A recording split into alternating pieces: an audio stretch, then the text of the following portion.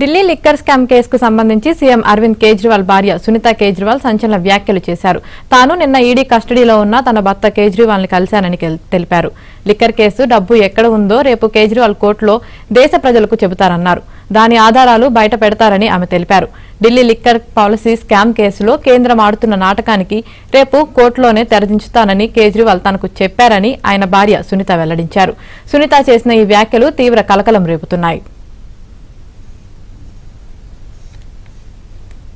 కేజ్రీవాల్కు diabetes ఉందని sugar level సరిగ్గా లేవన్నారు. గడిచిన రెండేళ్ళలో ఈడీ రెండు వందల యాభై పైగా ప్రాంతాల్లో సోదాలు చేసిందని ఒక్క పైసా దొరకలేదన్నారు. మనీష్ సిసోడియా సంజయ్ సింగ్ సత్యేందర్ జైన్ నివాసాల్లో ఎలాంటి డబ్బులు దొరకలేదని సునీత కేజ్రీవాల్ తెలిపారు. అరవింద్ కేజ్రీవాల్ నిజమైన దేశభక్తుడన్నారు.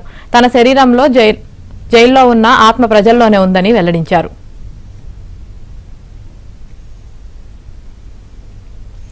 ఢిల్లీ లిక్కర్ స్కామ్ కేసులో సీఎం అరవింద్ కేజ్రీవాల్ ను ఈడీ అధికారులు ఈ నెల ఇరవై ఒకటో తేదీన అరెస్ట్ చేశారు ఇరవై రెండున ఢిల్లీ రౌస్ అవెన్యూ కోర్టులో హాజరుపరచగా ఆయనకు న్యాయస్థానం ఆరు రోజులు ఈడీ కస్టడీకి విధించింది ఈ రోజుతో ఈడీ కస్టడీ ముగిస్తుంది రేపు కేజ్రీవాల్ ను కోర్టు ముందు ప్రవేశపెట్టనున్నారు మరోవైపు అరవింద్ కేజ్రీవాల్ ను మరో ఐదు రోజులు ఈడీ అధికారులు కస్టడీకి అడిగే అవకాశం ఉన్నట్లు తెలుస్తోంది वो इस सो कॉल्ड शराब घोटाले का पैसा ढूंढ रहे हैं अभी तक किसी भी रेड में एक पैसा नहीं मिला। मनीष जी के यहाँ रेड मारी, संजय सिंह जी की यहाँ रेड मारी सत्येंद्र जैन जी की यहाँ रेड मारी, एक भी पैसा नहीं मिला।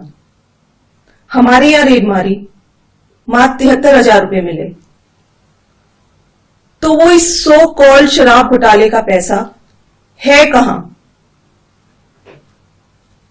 अरविंद जी ने कहा है कि इसका खुलासा वे 28 मार्च को कोर्ट के सामने करेंगे। सारे देश को सच सच बताएँगे कि इस सो कॉल्ड शराब घोटाले का पैसा है कहाँ। उसका सबूत भी देंगे। अरविंद जी बहुत सच्चे, देशभक्त, निडर और साहसी व्यक्ति हैं।